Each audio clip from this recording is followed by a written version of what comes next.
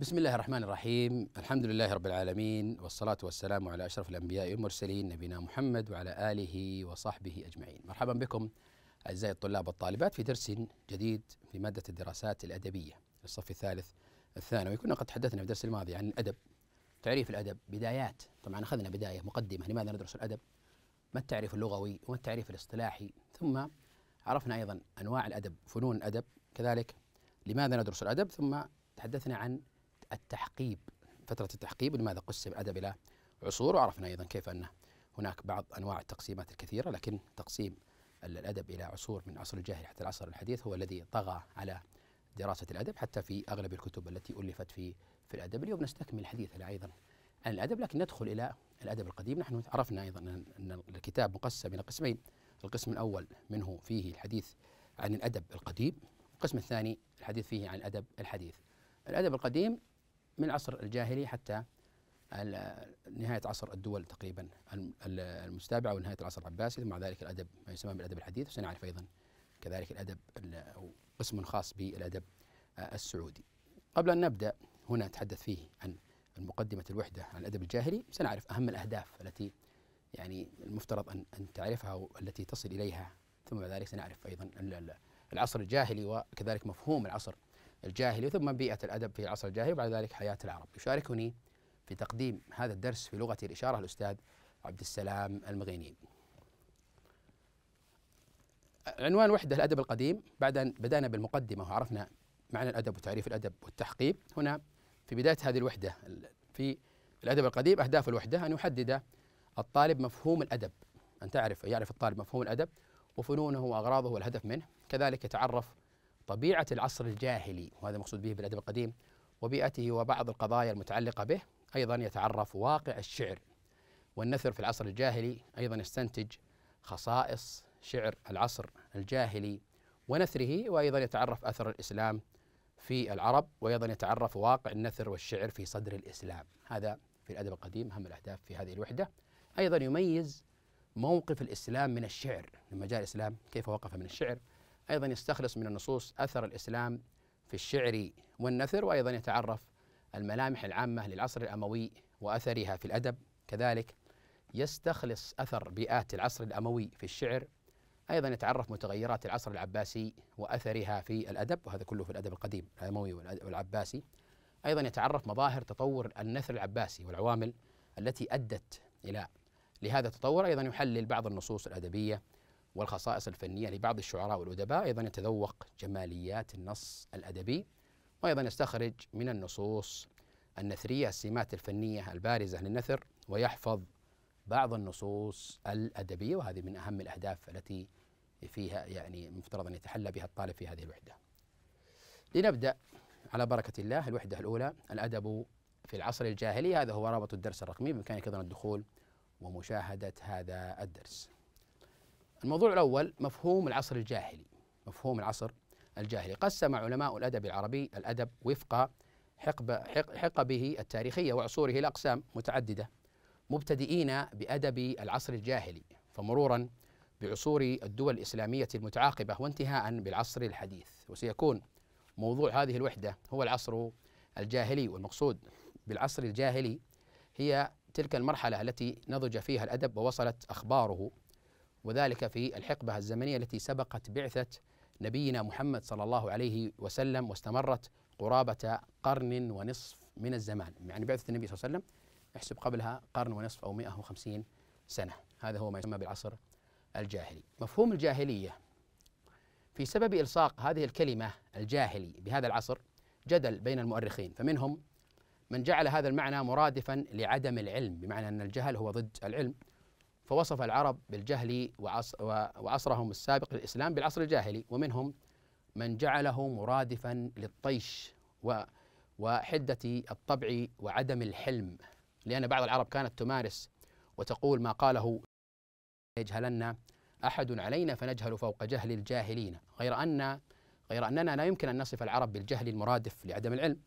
لأن العرب وإن كان أكثرهم لا يقرأ ولا يكتب قد كانوا يتواصلون بلغة راقية نزل بها كتاب الله ووافقها وكان لهم من الحكمة والتجربة والنضج وصفاء الذهن وسرعة البديهة الكثير مما أفصحت عنه أشعار أشعارهم وخطبهم وقصصهم وأخبار منتدياتهم وأسواقهم ويعد أدبهم أرقى الآداب في أيامهم ولا يزال إلى عصرنا الحاضر من أبرع النماذج الأدبية وبالإضافة إلى ذلك فقد عرف عنهم معرفتهم بالفلك والقيافة.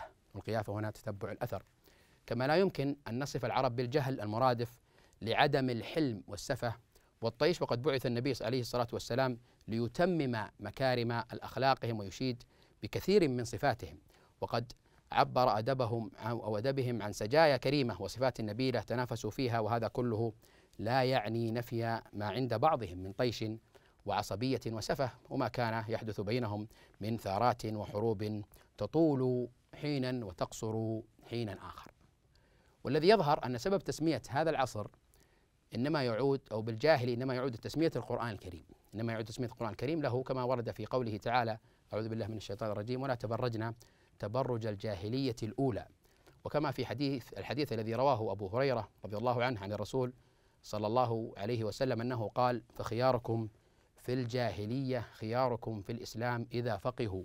وهي بهذه بهذا تسمية دينية لحقبة من الزمان سبقت بزوغ فجر الإسلام وابتعد فيها الناس عن منهج الرسل والحنيفية السمحة وتقربوا إلى الأصنام والأوثان وعبدوها وظهرت فيها عند العرب خاصة بعض الجهالات كالعصبية القبلية وكثرة الحروب والثارات. ولا شك في أن هذه التسمية لم تعرف إلا بعد بزوغ فجر الإسلام وشيوع نوره وما أحدثه من تغيير في العرب. إذا تسمية عصر الجاهلي مقصود به الفترة التي سبقت الإسلام وسماها القرآن مع أنها فترة قبل بعثة النبي صلى الله عليه وسلم وليس معناها ضد العلم أو معناها هو السفه أو الطيش.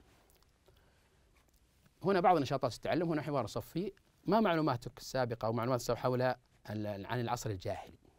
تحدث عن العصر الجاهلي. ماذا تعرف عن العصر الجاهلي؟ دون أبرز ما تعرف. ماذا تعرف عن العصر الجاهلي؟ كيف كانوا؟ أهم حروبهم نزاعاتهم قصائدهم أدبهم إلى آخره.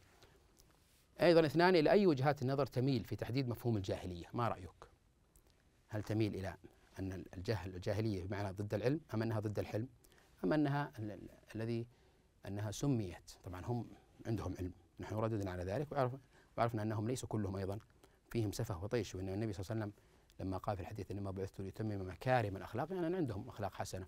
وفيهم أيضا أصحاب قول راجح وفيهم أيضا أصحاب حكمة وعرفوا أيضا بحكمهم ورجاحة عقولهم. إذا مفهوم الجاهلية نرى أنه أنه هو الفترة التي سبقت الإسلام وهذا هو التسمية الصحيحة التي سماها القرآن إنهم ذكرت أيضا في القرآن ولم تعرف أصلا إلا بعد بزوغ فجر الإسلام وبعد بعثة النبي عليه الصلاة والسلام. هنا ما معلوماتك السابقة عن العصر الجاهلي؟ ما هي المعلومات السابقة عن العصر الجاهلي؟ جميل. طبعا هنا سنقول مثلا العصر الجاهلي ذاك العصر الذي سبق ظهور الإسلام. هو عصر سبق ظهور الإسلام بقرن ونصف من الزمان على أرجح الأقوال. طبعا قبل ذلك لا نعرف عنه شيء أو لم يصل إلينا شيء ولم يرد شيء ولم يتحدثوا عنه. وكان العرب فيه ثقافات ومعارف وعادات وأقرب الآراء في سبب تسمية هذا العصر بتلك التسمية هي انتشار الحروب والحماقات. بعضهم قال أن هذا رأي من الآراء أن العصر الجاهلي وانتشار الحروب ما رأيك؟ هل هذا صحيح؟ بمعنى أن الجاهلية هو السفه والطيش وانتشار الحروب أم أن التسمية الحقيقية هي أن الإسلام لما جاء سم سمى العصر الجاهلي المقصود به قبل بزوغ فجر الإسلام هنا نشاط بحثي بإمكانك أيضا أن تكتب أنت وزملائك وهذا متروك لك. يعد هنا علماء الأدب العصر الجاهلي أول عصور أدبية الأدب العربي. هو يعد أول عصور أدبية. ابحث بالتعاون مع زملائك في وحدات هذا الكتاب ومراجعك الأدبية عن عصور الأدب العربي الأخرى. أذكر بعض العصور العربية الأخرى وفتراتها ثم دون ما توصلت إليه معهم أنت وزملائك أو أنت وزميلاتك بإمكانك أيضا أن تدونوا عن عن تلك العصور وأن تتحدثوا عن تلك العصور وأن تذكروا أيضا عصور تختلف عن عصر الجاهلي ابحث عن أي عصر بإمكانك أن تستعان أيضا أو بإمكانك الاستعانة بهذا الكتاب أو بكتب بكتب أخرى. هنا بيئة العرب في العصر الجاهلي. هنا البيئة بيئة العرب في العصر الجاهلي. طبعا البيئة الجغرافية أولا استوطن العرب شبه جزيرة العرب وهي وإن تباينت جغرافيتها ما بين أنجاد وسهول وهضاب وسواحل وبحار لأن رقعتها الشاسعة كانت صحراء تمتاز بسطوع شمسها وكثرة مخاطرها وتقلب رياحها وتوحش حيوانها وتمتاز في المقابل بصفاء سمائها وتلألؤ كواكبها وطلاقة هوائها ورحابة فضائها. ولا شك في أن الإنسان يتأثر بأرضه فتطبعه بطابعها وتلون أخلاقه بلون تضاريسها ومناخها حتى لقد قال أحد علماء الاجتماع صفوا لي طبيعة أرض أصف لكم سكانها.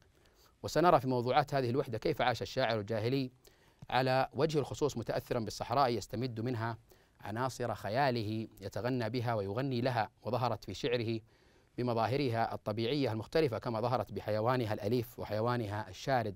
وكثيرا ما وصف ليلها ومطرها وسحابها وسرابها وكان إحساسه بها عميقا صادقا لا زيف فيه ولا افتعال. حياة العرب الاجتماعية والخلقية والثقافية هنا الحديث عن بيئة العرب وكيف أنها كانت صحراء قاحلة وأثرت على الأديب نفسه أو على الشاعر. هنا الحياة الاجتماعية كيف كان العرب قديما؟ كان العرب قديما مثل غيرهم مجتمعا قبليا.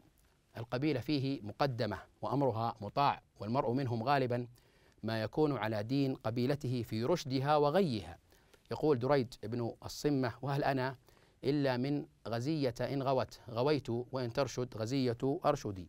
يعني أنا معهم إن غووا أو إن كانوا في جهة الرشد في وقال قريط ويقول قريط بن أنيف التميمي يقول قوم إذا الشر أبدى نادجيه لهم طاروا إليه زرافات زرافات ووحدانا لا يسألون أخاهم حين يندبهم في النائبات على ما قال برهانا. يعني إذا طلب منهم الفزعة أو إذا طلب لهم المساعدة فإنهم سيساعدونه بدون أن يسألوا حتى عن السبب عن عن السبب. وقد كانت العرب بين أهل مدر وأهل وبر فأما أهل المدر فهم الحواضر وسكان القرى وتعدادهم قليل وكانوا يعيشون على الزراعة والماشية والضرب في الأرض للتجارة. أما أهل الوبر الذين يعدون أكثر في ذلك العصر فهم من يسكنون الصحراء وكانوا يعيشون على ألبان الماشية ولحومها منتجعين منابت الكلأ مرتادين مواقع القطر فيحلون هنا ما ساعدهم الخصب وأمكنهم وأمكنهم الراعي ثم يرتحلون إلى جهة أخرى لطلب العيش وابتغاء الماء فلا يزالون في حل وترحال. وكانت القبيلة منهم تحمي مواقع السحاب مقصود به المواقع التي تسقط فيها الأمطار. فلا يرعى غريب حماها ولا يرد, يرد ماءهم إلا بإذنهم ولطالما نشبت حروب بين القبائل من أجل بئر روية أو مكان معشوشب كما قال شاعرهم ونشرب إن وردنا الماء صفوا ويشرب غيرنا كدرا وطينا. وقول الآخر إذا نزل السحاب بأرض قوم رعيناه وإن كانوا غضابا. أما على المستوى السياسي فقد كان كان العرب على قسمين. أولا قسم لهم مسحة سياسية وهؤلاء يعيشون في إمارات كإمارة المناذرة في الحيرة التي أنشأها الفرس جنوبي دولتهم وإمارة الغساسنة في بصرى التي أنشأها الروم جنوبي دولتهم. وإمارة كندة في بعض نواحي نجد التابعة للتبابعة في اليمن ويمكن عد مكة من هذا القبيل حيث كان لها نظام سياسي ينظمها. اثنان قسم لهم لم يكن لهم وضع سياسي قسم لم يكن لهم وضع سياسي فهو فهم تبع لقبائلهم وهذا هو الأغلب. وتخضع كل قبيلة لسيدها. إذا هنا في تقسيم المستوى السياسي العرب قسم لهم مسحة سياسية يعني أنهم إمارة تتبع لهم مناذرة في الحيرة والغساسنة كذلك وكندة في نجد. وبعضهم عد مكة من هذا القبيل أو في قريش لأن لها كان لها نظام سياسي. قسم لم يكن لهم وضع سياسي وهم قبائل وتخضع كل قبيلة لسيدها. الحياة الخلقية. أما أخلاق العرب أخلاق العرب قد كان منها أخلاق كريمة أصيلة. وهذا دليل قول النبي صلى الله عليه وسلم إنما بعثت لأتمم مكارم الأخلاق. ومن تلك الأخلاق والخصال الكريمة الكرم والشجاعة والفروسية وعزة النفس والعفة والشرف وكره الذل وصلة الرحم وحسن الجوار وإغاثة الفقير والملهوف والحلم والصدق والأمانة والوفاء. كما كان لبعضهم أخلاق جفاء يتخذونها وسيلة وسيلة لغاية حميدة كالثأر والنهب والسلب والعصبية القبلية ومنها ما كان مقبولا في الجاهلية حتى جاء الإسلام فأنكرها. يعني بعض هذه الأخلاق السيئة كانت مقبولة في في الجاهلية ويعدونها من من الأخلاق الحسنة.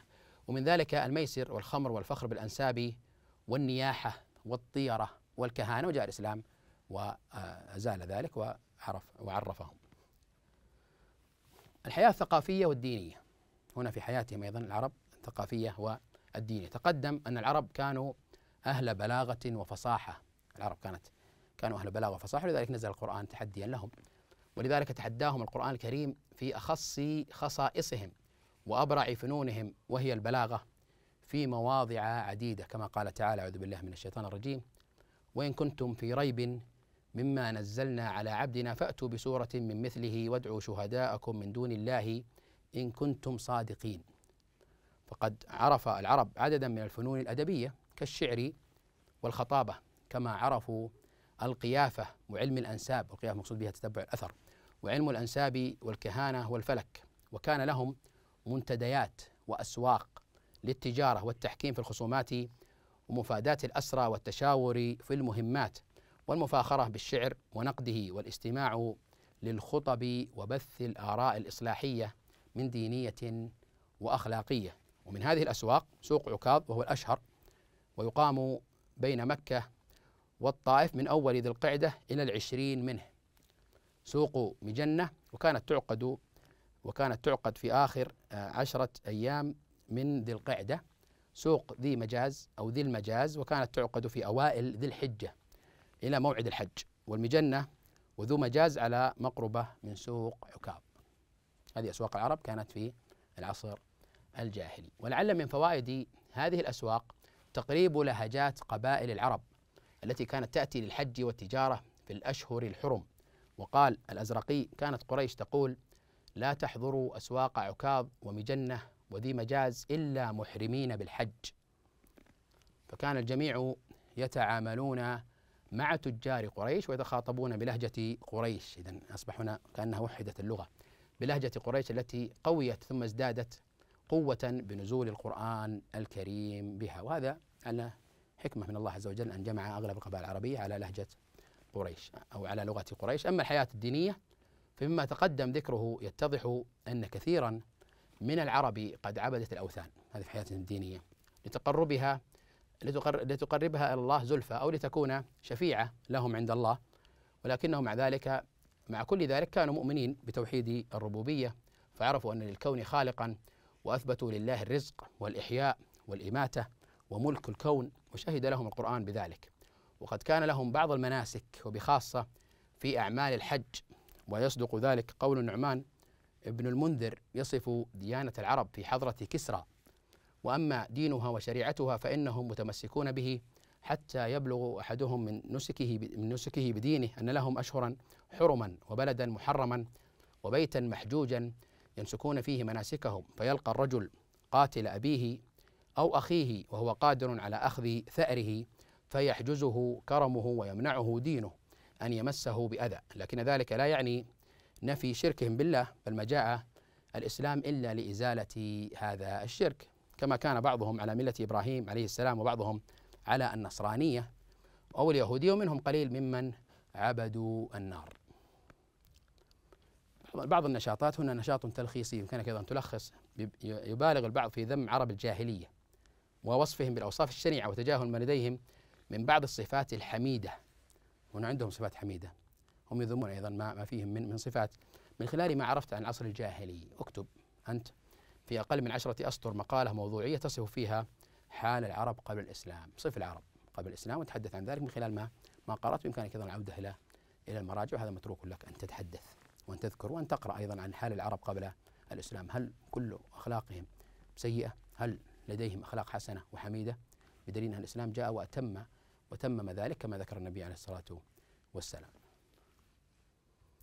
هنا نشاط تعليمي شفهي قال امرؤ القيس لاحظ هنا واصفا. ترى بعر الآرام في عرصاتها هذه من معلقة امرؤ القيس وسنأتي إليها. وقيعانها كأنه حب فلفل وقال أمية ابن أبي الصلت مادحا تباري الريح مكرمة ومجدا إذا ما الكلب أجحره الشتاء. وقال المهلهل راثيا سقاك الغيث سقاك الغيث إنك كنت غيثا ويسرا حين يلتمس اليسار. من المظاهر الصحراوية التي تبرز في هذه الأبيات؟ أهم المظاهر الصحراوية التي تبرز في هذه الأبيات؟ جميل. نقول مثلا الرياح الشديدة وكذلك حيوانات الرعي بعر الآرام وأيضا المطر من سقاك الغيث وهذه أيضا بعض المظاهر التي ستكون في الصحراء عند العرب. كذلك إذا ما الكلب أجحره الشتاء أيضا دخول في تقلبات أيضا الفصول فصل الصيف فصل الشتاء. هنا يقول ذو الأصبع العدواني يلوم ابن عمه على معاداته وله وتأليبه الأعداء عليه ويفاخر بنفسه وخلقه. إني لعمرك ما بابي بذي غلق عن الصديق ولا خيري بممنون ولا لساني على الأدنى بمنطلق بالفاحشات ولا فتكي بمأمون. ويقول عنترة بن شداد وأغض طرفي ما بدت لي جارتي حتى يواري جارتي مأواها ويقول أعشى الضيف أوصيكم بالضيف إن له حقا علي فأعطيه وأعترف والجار أوصيكم بالجار إن له يوم من الدهر يثنيه فينصرف اقرأ هذه الأبيات قراءة معبرة ثم استخرج منها بعض صفات العرب الحميدة التي كانوا يفخرون يفخرون بها. ما هي الصفات الحميدة التي كانوا يفخرون بها العرب؟ هنا إني ما بابي بذي غلق عن الصديق وأيضا هنا أغض طرفي ما بدت لي جارتي في أنتره وكذلك العشاء عندما قال والضيف أوصيكم بالضيف وأيضا قال والجار. هذه كلها صفات صفات حسنة كانت عند عند العرب وكانوا يتفاخرون يتفاخرون بها. ونقول هنا الإباء والعزة والفخر بالأنساب بالنسب كذلك الكرم والنجدة والعفة والنصح وصفات العرب التي ذكرت أيضا من كثيرة. هذا ما أردنا أن نورده في هذا الدرس وصلى الله وسلم على نبينا محمد وعلى آله وصحبه أجمعين.